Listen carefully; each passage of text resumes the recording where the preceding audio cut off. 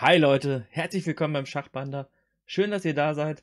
Mein Ziel ist es immer, dass ihr auf meinem Kanal auch wirklich was lernt. Und deswegen möchte ich euch erstmal zuerst fragen, auf was für Arten von Videos hättet ihr denn Lust? Was ist ein Thema, wo ihr sagt, das habe ich nie so richtig verstanden und dazu hätte ich mal ganz gerne ein Video. Schreibt das bitte in die Kommentare, denn äh, ich bin immer dankbar um Anregungen und Wünsche von euch.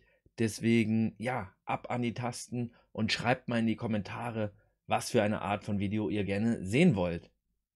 Mit diesem Video heute starte ich eine neue Serie und zwar instruktive Klassiker.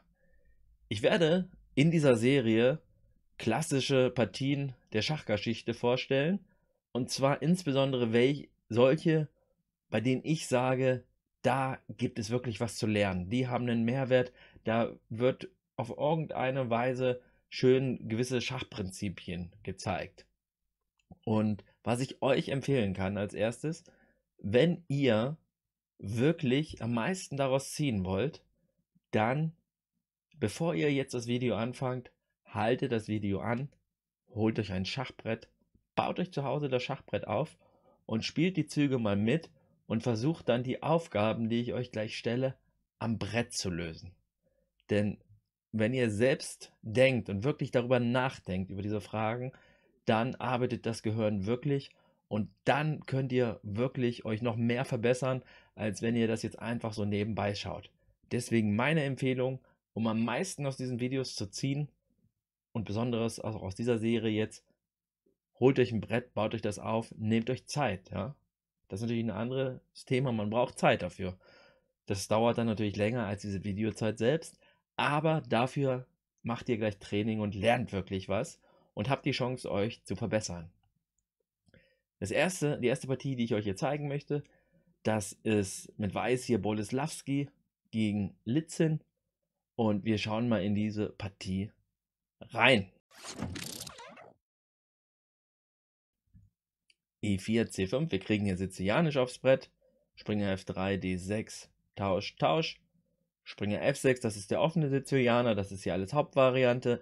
G6, damit sagt Schwarz ganz klar, er will die sogenannte Drachenvariante spielen, in der man seinen Läufer eben hier vierenchettiert. Werde ich jetzt nicht groß weiter drauf eingehen, denn äh, diese Sizilianische an sich ist natürlich schon kompliziert genug und darum soll es hier auch gar nicht gehen. Wir schauen uns allerdings mal den weißen Aufbau an, Läufer E3, F3 und damit D2. Und jetzt meine erste Frage an euch. Was ist der weiße Plan in dieser Stellung? Mit diesem Aufbau verbunden ist immer ein Plan. Und das ist immer das Entscheidende, oft in der Eröffnung, dass man nicht nur weiß, welche Züge man macht, sondern dass man die damit verbundenen Pläne kennt. Denn wenn ich einen Plan habe, dann kann ich das danach wie so ein Muster im Prinzip abspulen. Ja, wenn mein Gegner diesen Plan nicht verhindert, dann kann ich danach die Züge meines Plans einfach runterspielen und muss nicht bei jedem Zug überlegen, was mache ich denn jetzt. Und das ist natürlich sehr, sehr hilfreich und deswegen sollte man hier so einen Plan kennen und deswegen meine Frage an euch, was, wie lautet hier der weiße Plan? Wenn ihr ihn, haltet immer gerne das Video an, immer um die Fragen zu beantworten, gerne eben auch an eurem Brett.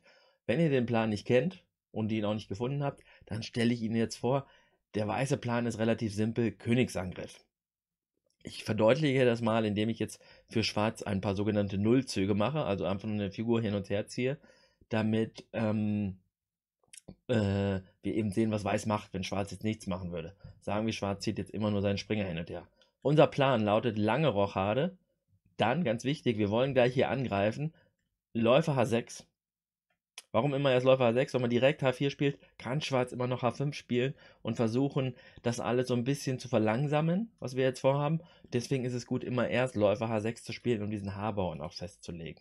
Wir wollen jetzt den Läufer abtauschen, den Verteidigungsläufer, und gleichzeitig danach die H-Linie öffnen. Und dafür haben wir natürlich auch lang rochiert. Ja, unser König steht jetzt an der anderen Seite das, und unser Turm bleibt in der H-Linie. Das ist natürlich perfekt für den Angriff. H4, H5, dann ta tauschen wir hier ab, dann irgendwann tauschen wir auch hier ab und dann kommt Dame H6. Dafür steht die Dame auf D2 natürlich auch richtig. König E8 und Dame H8 matt.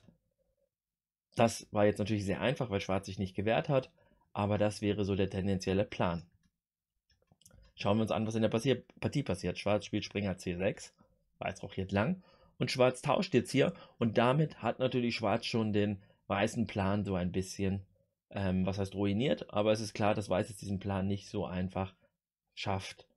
Und damit Schwarz auch wirklich verhindert, dass Weiß hier einfach kostenlos angreift, muss er natürlich auch selbst angreifen und deswegen kommt jetzt hier Dame A5.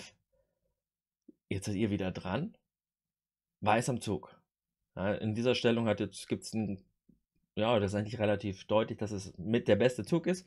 Ein sehr logischer Zug. Ähm, versucht mal herauszufinden, was Weiß in dieser Stellung gespielt hat. Haltet das Video gerne an. Ich verrate es euch. Wenn man lang rochiert, ist es fast immer irgendwann ein guter Zug, König B1 zu spielen. Und gerade in dieser Stellung, äh, der Springer deckt nur noch den A2. Irgendwann wird der A2 sehr eng. Also wenn wir zum Beispiel H4 spielen, dann kommt jetzt schon Läufer E6 und dann seht ihr, da hängt eben schon der A2. Wenn wir, und wenn wir den jetzt decken, dann kommt der Turm in die Ziellinie und so. Ähm, wir werden uns eh um den A2 kümmern müssen und deswegen spielt Weiß jetzt schon mal in weiser Voraussicht. Das nennt man auch so ein bisschen Prophylaxe.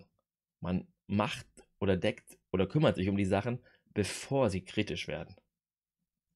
Den Angriff dazu kommen wir hoffentlich eh.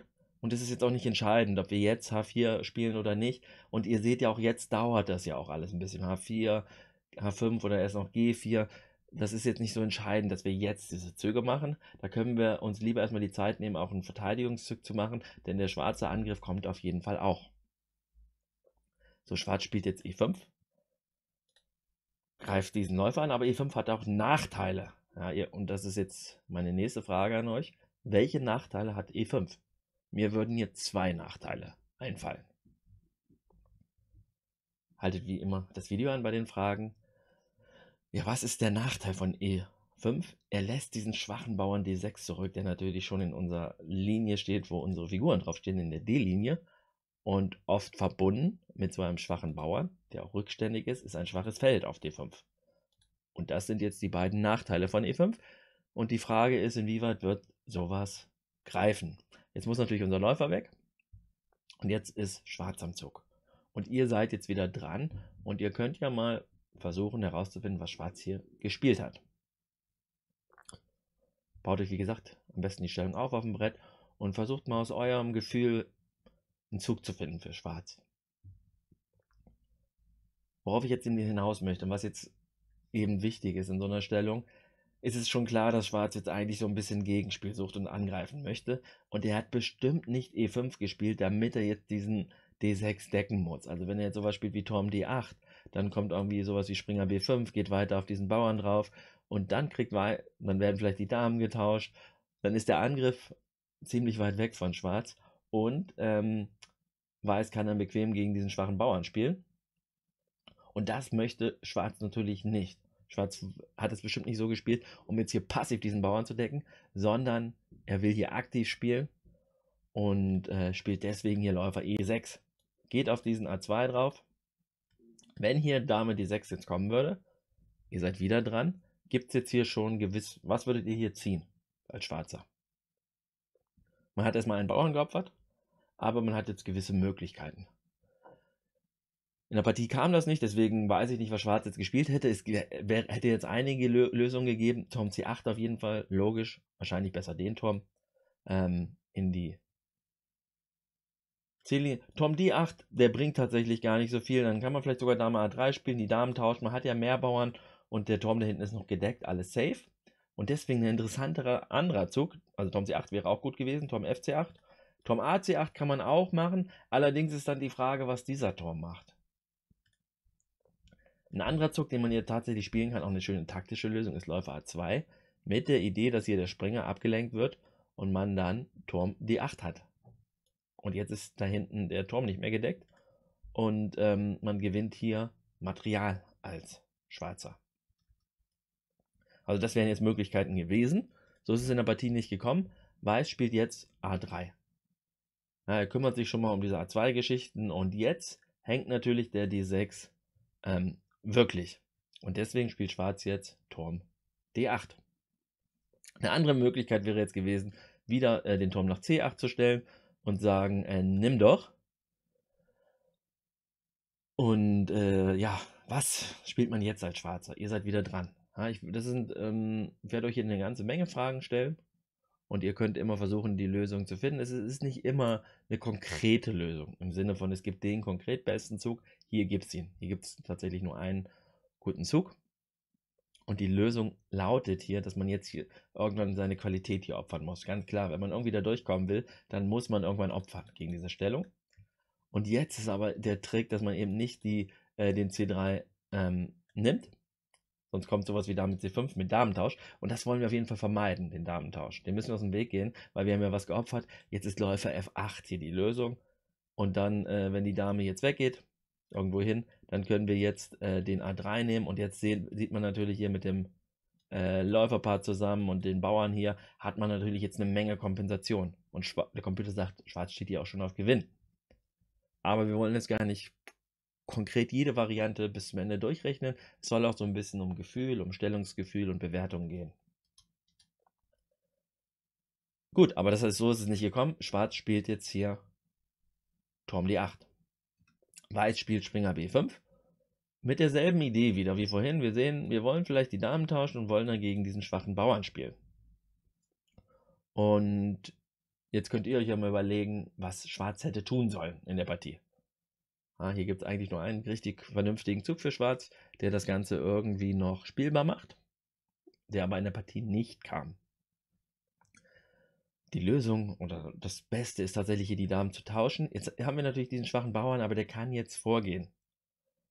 Und der ist ja oft genug gedeckt auf D5 und Springer C7 kann zwar kommen, aber den können wir angreifen. Und jetzt sehen wir, selbst wenn Weiß jetzt hier nimmt, können wir hier einfach alles rausnehmen ähm, und den dann irgendwie so nehmen und haben keine Probleme als Schwarzer tatsächlich. Wir haben auch keinen Bauern verloren. Weiß kann auch hier nehmen, aber trotzdem, wir haben keinen Bauern verloren und halten die Stellung zusammen. Weiß kann möglicherweise den nehmen. Das empfiehlt der Computer und sagt, jetzt hat Weiß einen Bauern mehr, aber ähm, zumindest ist das nicht ganz so dramatisch, dieser A7. Das wäre das Beste gewesen. Schwarz sagt sich aber, okay, ich will lieber äh, die Damen auf dem Brett lassen und möchte lieber angreifen. So, der beste weiße Zug wäre jetzt gewesen, mit dem Springer da rein zu hüpfen, um nachdem, jetzt seid ihr am Zug, was ist die Idee davon? Haltet das Video gerne an und versucht herauszufinden, was eigentlich die weiße Idee hinter Springer C7 ist. Ich verrate es euch, die Idee ist jetzt natürlich nicht, da irgendwo wegzugehen, sondern wir haben Läufer B5 und gewinnen die Dame. Ja, ich weiß nicht, ob Weiß ähm, das nicht beachtet hat oder ähm, übersehen hat oder was anders spielen wollte. Aber deswegen Springer C7 ist ganz klar der beste Zug. Da Läufer B5 droht und der Turm hängt, kann sich Schwarz nicht um beides kümmern. Er muss sowas spielen wie A6. Und jetzt können wir hier einfach den Turm nehmen. Und äh, Schwarz kriegt auch kein großes Gegenspiel. Wir haben, unser König steht relativ sicher. Der Turm musste sich passiv hinstellen. Und hier hätten wir jetzt ganz bequem eine Qualität mehr und hätten so, können sogar hier noch den D6 mitnehmen. Stattdessen spielt Schwarz einen sehr interessanten Zug. Er weiß C4. Ähm, ja, und Schwarz nimmt den weg. Und jetzt könnt ihr ja euch mal überlegen, was war denn die Idee von C4? C4 ist mit einer ganz konkreten, ist ein Bauernopfer, aber ist mit einer ganz konkreten Idee verbunden natürlich. Den hat jetzt Weiß nicht einfach so da eingestellt. Haltet das Video gerne an und versucht euch mal Gedanken über die Idee zu machen. Ja, vielleicht wenn ihr die Idee jetzt schon gefunden habt, gut. Ich mache nochmal ein, zwei Züge weiter. So, Weiß tauscht jetzt hier. Und jetzt wenn ihr es vorhin nicht gesehen habt, habt ihr jetzt nochmal eine Chance, euch nochmal Gedanken über die Ideen zu machen. Also die Idee war vorher schon das, was jetzt kommt, aber jetzt sieht man es vielleicht klarer, was macht Weiß jetzt? Was war die Idee hinter diesem Bauernopfer und diesem damit verbundenen Läufertausch? Ich verrate es euch, wir haben, und ja vorhin schon erwähnt, I5 hat zwei Nachteile. Er schwächt diesen Bauern D6 und er schwächt dieses Feld D5. Und Weiß hat jetzt seinen Plan ein bisschen geändert und hat gesagt, okay, diesen D6, gut, den gewinne ich jetzt nicht, aber ich gehe dafür auf dieses schwache Feld. Und da haben wir natürlich noch einen Verteidiger, den Springer, und deswegen spielen wir jetzt Läufer G5. Die Dame geht weg, wir nehmen den raus und jetzt stellen wir den Springer dahin. Und dieser Springer ist halt eine absolute Bombe. Das ist eine Riesenfigur. Das ist die beste Figur auf dem Feld, weil der hier, er steht hier im Zentrum auf einem guten Feld, auf einem sehr starken Feld, hat alles im Griff, in alle, schaut mal, der geht in alle Richtungen hier. Und vor allem, und das ist eben die andere Sache, die man bei so einer starken Figur beachten muss, sie kann nicht mehr vertrieben werden. Es gibt keine schwarze. Schwarz muss, wenn er ein Tor, eine Qualität dafür opfern, damit er die jemals los wird. Es wäre anders, wenn Schwarz einen Springer hätte. Hätte Schwarz einen Springer, kann auch egal wo der steht, dann kann er zumindest probieren, den irgendwo äh, dahin zu bringen, um den Springer abzutauschen. Oder hätte Schwarz noch den Weißfeldringläufer. Auch wenn der jetzt woanders steht, dann hat Schwarz immer den Plan, den hier hinzustellen und abzutauschen. Und damit diese starke Figur abzutauschen. Aber das hat er alles nicht mehr und damit wird dieser Springer einfach langfristig da bleiben. Schwarz spielt jetzt den. Und ja, jetzt ist natürlich die Frage trotzdem, wie ähm, machen wir weiter als Weißer? Wir haben jetzt, es ist schön und gut, dass wir jetzt äh, diesen Springer da haben, aber das ist sozusagen immer nur ein Faktor. Wir müssen ja irgendwie vorankommen. Und jetzt könnt ihr euch ja mal überlegen, was denn, wie kann man denn seine Stellung hier weiter verbessern als Weißer? Ja, jetzt kommt der andere Faktor zum Tragen. Mit diesem Springer zusammen bietet es sich auch an, einen Königsangriff zu starten. Ja, wir, der schwarze König steht ja hier. Wir haben vorhin schon so eine Pläne gesehen. Und ähm, zusammen mit diesem Springer wird dieser Angriff einfach nur noch stärker. Weil wenn später irgendwas geschwächt wird, dieser Springer, der ist einfach immer beteiligt am Angriff. Und deswegen lautet jetzt der weiße Plan, hier durch äh, irgendwie zu versuchen, die Haarlinie auch wieder zu öffnen und diesen Angriffsplan, den wir vorhin gesehen haben, so ein bisschen fortzuführen. Was man nicht machen sollte, ist Turm C1 tatsächlich, man könnte ja auch denken, man spielt in der C-Linie, aber da hat man eigentlich erstmal gar nicht so viel verloren in der C-Linie. Und zum anderen gibt es halt den Nachteil, dass, dass es hier Läufer H6 direkt gibt. Taktisches Problem, ne, auf das man achten muss. Deswegen spielt Weiß jetzt Dame E2, geht weg von den schwarzen Feldern. Sicherlich sinnvoll, um nicht in sowas reinzurennen. Schwarz spielt jetzt Läufer F8, verhindert Springer E7 und deckt den D6. Weiß spielt jetzt Dame F1, ja, ich schätze, die Idee von Dame F1 ist es hier, dass nach G3 die Dame nicht nach H3 geht. Man möchte ja, Weiß würde gerne den spielen, aber nach Dame H3 kriegt man diese Dame nicht so gut weg und eigentlich wollen wir ja H4, H5 spielen. Und deswegen kommt jetzt hier Dame F1 und das Schöne ist, wir haben ja auch Zeit als Weißer. Wir haben hier keinen Druck, wir stehen gut und Schwarz kann auch gar nicht so viel machen.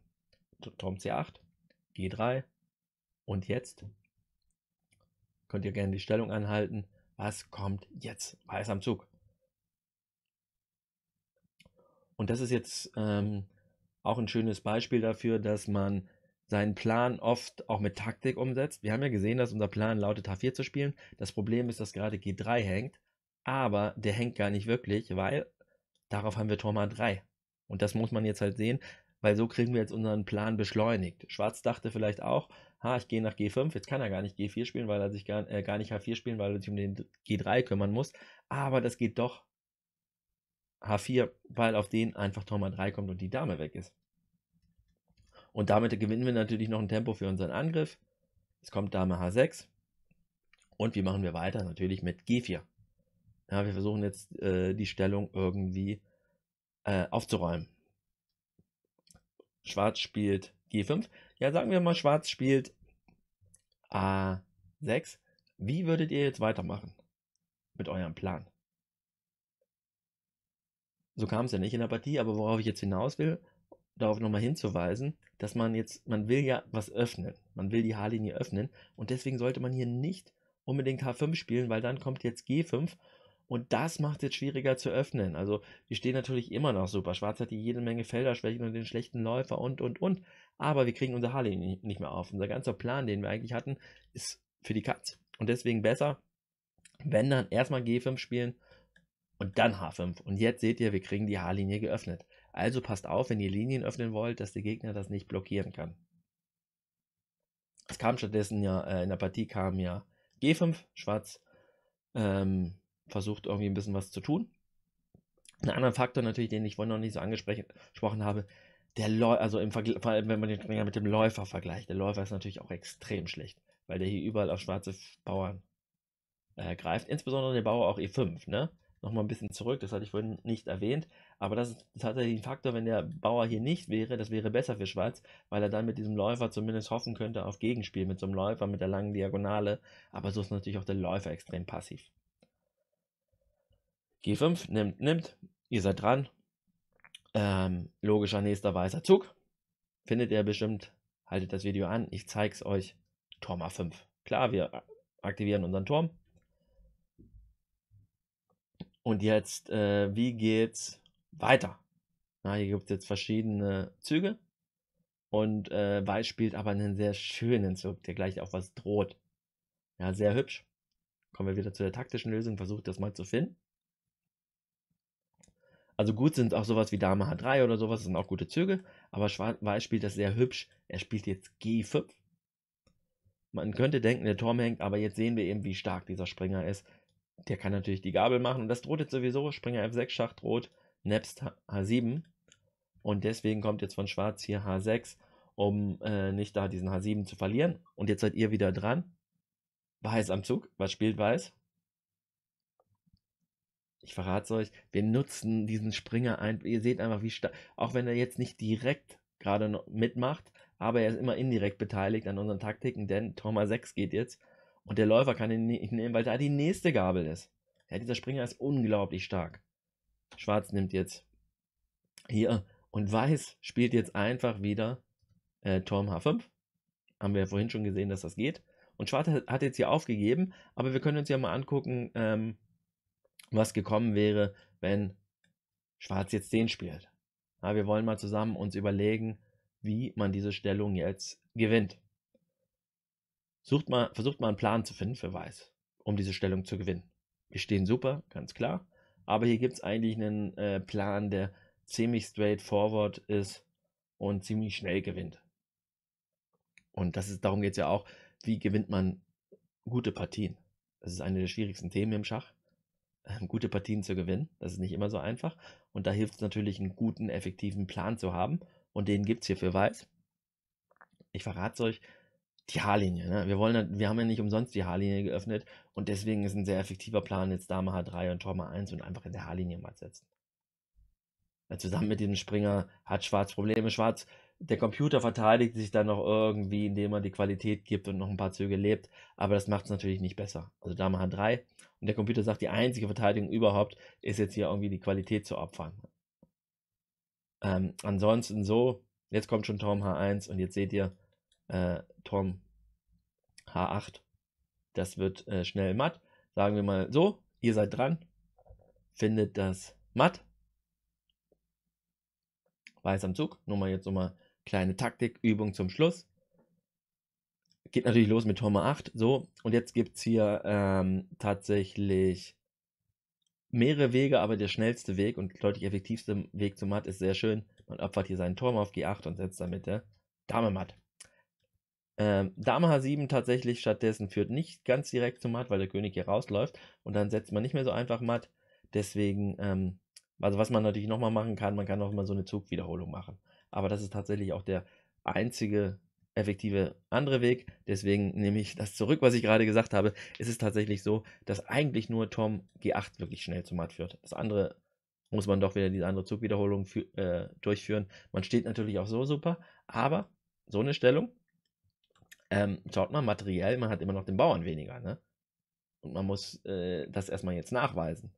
Jetzt hat man zwar immer noch diesen super Springer, aber ähm, man setzt nicht mehr so einfach matt. Und dann, das wird schon deutlich ähm, schwieriger.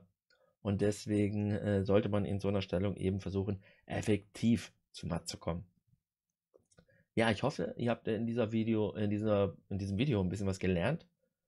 Ähm, das Thema dieses Videos habt ihr gesehen, das Thema der Partie ist dieses Feld, schwache Feld D5 und es zeigt sehr schön, wie man so ein schwaches Feld ausnutzen kann, wie man so einen starken Springer nutzen kann. Ja, so ein starker Springer allein gewinnt die Partie nicht, aber ihr habt gesehen, der Angriff verbunden mit diesem Springer, da hat, hat, man gesehen, wie stark dieser Springer ist. Und es war eben auch schön zu sehen, wie Weiß diesen Plan hatte. Mit C4 hat er im Prinzip einen Bauern geopfert, um die Läufer zu tauschen, damit dieser Verteidiger weg ist. Und dann hat er mit Läufer G5 noch den anderen Verteidiger abgetauscht. Und so gab es keinen Verteidiger mehr für dieses schwache Feld. Und das hat er genutzt. Und ähm, ja, das kann eben eine Möglichkeit für euch sein, dass ihr in Partien anfangt, schwache Felder zu identifizieren. Dass ihr einfach mal darauf achtet, wo gibt es schwache Felder. Kann ich dieses Feld besetzen? Kann ich das ausnutzen? Das ist nicht immer möglich, aber wenn das möglich ist, kann einem das einen Plan geben. Ja, für die nächsten Züge sagt man, ich möchte dieses Feld besetzen. Wie kriege ich das hin? Wie kriege ich meinen Springer dahin? Wie kriege ich vielleicht die Verteidiger abgetauscht? Und äh, das hilft einem, mögliche Pläne zu identifizieren und auch selbst darauf zu achten, dass man natürlich keine Felderschwächen unbedingt zulässt, wenn es nicht sein muss. Dann Danke, dass ihr dabei wart. Würde mich freuen, wenn ihr eben den Kommentar da lasst und einen Daumen. Und sonst bis zum nächsten Mal. Macht's gut, euer Schachpanda. Ciao.